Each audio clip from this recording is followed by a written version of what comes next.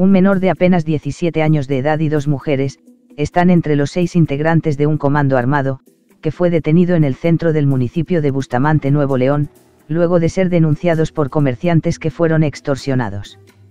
Las autoridades señalaron que algunos comerciantes del municipio, denunciaron haber sido víctimas de extorsión por parte de los ahora detenidos, por lo que se inició un operativo. Los agentes ministeriales, detectaron el vehículo de los criminales, que circulaba por la calle Aldama a la altura de la calle Trinidad Santos, en el centro de Bustamante, Nuevo León, por lo que el comando armado emprendió el escape. Ante esto los agentes investigadores solicitaron refuerzos, logrando la detención del comando y asegurando armas, así como la camioneta en la que se desplazaban.